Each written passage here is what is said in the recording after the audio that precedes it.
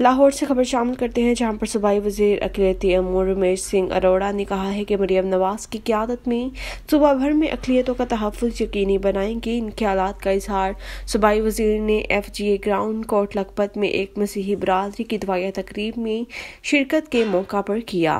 सूबाई वज़ीर ने अपने खिताब में मजीद कहा है कि मैं जिस दिन वज़ीर बना तो मुझे मरियम नवाज़ शरीफ ने हदायत दी कि अकलीतों के हकूक का तहफ़ हर हाल में यकीनी बनाना होगा। पंजाब में तीन इशारिया तीन मिलियन मजहबी अकलीतें मौजूद हैं, जिनकी खिदमत के लिए दिन रात कोशा रहूँगा। उन्होंने मसीह बरदरी को खुशखबरी भी सुनाई कि स्कॉलरशिप को दो गुना करने जा रहे हैं।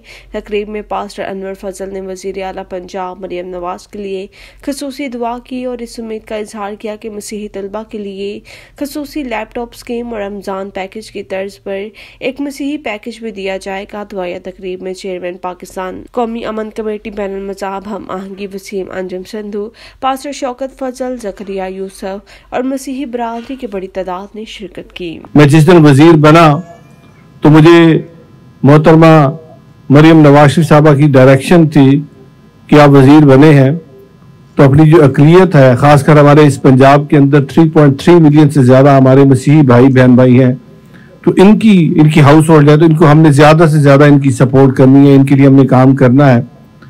तो मैं आपको यकीन दिलाता हूँ कि आपकी खिदमत के लिए, आपकी तरक्की के लिए मैं दिन रात कोशा रहूँगा और मैं कोशिश करूँगा कि जितनी आपकी मैं खिदमत कर सकता हूँ, जितनी आपके लिए मैं सपोर्ट लेके आ सकता हूँ, जितनी आपकी ज़िंदगी में आसानियाँ पैदा कर सकता हूँ, खुदा के उस कलाम के, खुदा की उस बरकत से मैं आपकी खिदमत की सेवा करूँगा। अभी एक छोटा सा पैकेज मुझे बीबी साहबा ने अनाउंस करवाया है माइनॉरिटी डेवलपमेंट पैकेज का। अगले चार माह, तीन माह के अंदर हम साढ़े आठ सौ मिलियन की डेवलपमेंट स्कीम्स अपनी माइनॉरिटी के वो इलाके जहाँ पे हमारे मसीही कौम ज़्यादा रहती है, हिंदू भाई रहते हैं, सिख भाई रहते हैं तो साढ़े आठ सौ मिलियन तकरीबन मैं वहाँ पे आपके लिए एलोकेट बीबी मरियम साहबा ने करवाए हैं और वो साढ़े आठ सौ मिलियन की डेवलपमेंट स्कीम लगेंगी। हमारी एक जो चर्च है लाहौर के अंदर उसकी दोबारा रेस्टोरेशन रेनोवेशन हो रही है। तीन हमारे ऐसे एरिया है, मरियमाबाद है, उसके बाद युगानाबाद और एक और ये एरिया और है। उनकी अपग्रेडेशन की बात हो रही है और खासकर जो पाँच परसेंट जॉब कोटा है मुलाजमतों में, और वो हमें पता है कि उस जिस तरीके से वो होना चाहिए था, वो पिछले काफ़ी अरसे से नहीं हुआ, और फिर दो फ़ीसद यूनिवर्सिटीज के अंदर कोटा है। तो मेरी गुजारिश होगी, अपनी खास कर मैं अपनी माओ, बेटियों और बहनों से गुजारिश करता हूँ पास साहब, मेरी आपसे भी गुजारिश होगी, आप बड़ी सेवा करने वाले हैं। खुदा रहा अपने बच्चों को तालीम से आरास्ता कीजिए। जब मैं ब्रीफिंग दे रहा था तो मुझे पता लगा अभी भी यूनिवर्सिटी के अंदर बहुत सारी सीट्स हमारी जो माइनॉरिटी की, वो खाली जाती है।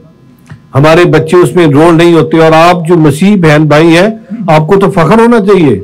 आज बीबी मरियम साहबा जब बात करती है तो बड़े फख्र से बताती है कि मेरी जो मैट्रिक तक की तालीम है, ये चीज़ें मेरी से हासिल की, वहाँ से पढ़ाई मैंने की है।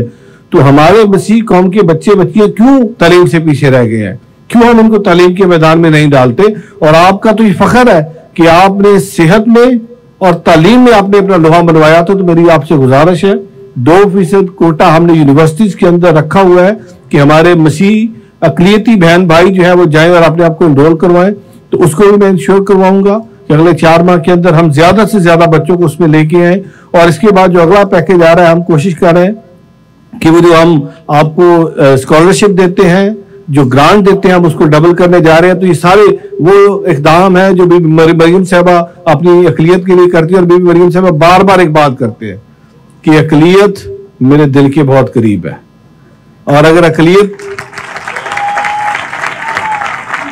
अकलीत खुश नहीं है, परेशान नहीं है तो मैं भी परेशान हूँ। तो फिर मैं पास्टर साहब आपका शुक्रिया अदा करता हूँ। मेरे भाई एम पी ए साहब, वसीम साहब यहाँ पे मौजूद है उनका उनको भी मुबारकबाद पेश करता हूँ। खुदा ने इनको सरफराजी बख्शी है। दो दिन पहले इन्होंने हल्फ उठाया है तो मैं इनको भी मुबारकबाद पेश करता हूँ। अब तमाम जो मेरे सामने इस वक्त प्रेयर फेस्टिवल में बहन भाई बच्चे मौजूद हैं, मेरी तरफ़ से आप सबको आप मुबारक के मुस्तक है। मैं वज़ीर नहीं हूँ, आप वज़ीर हैं। और मेरे दरवाजे आपके लिए खुले हैं। पास्टर साहब की दुआओं से मुझे ये सरफराजी मिली है तो मेरे दरवाजे हमेशा आपके लिए खुद खुले हुए हैं। खुदा आपका हामी नासर हो। पाकिस्तान। शुक्रिया जी।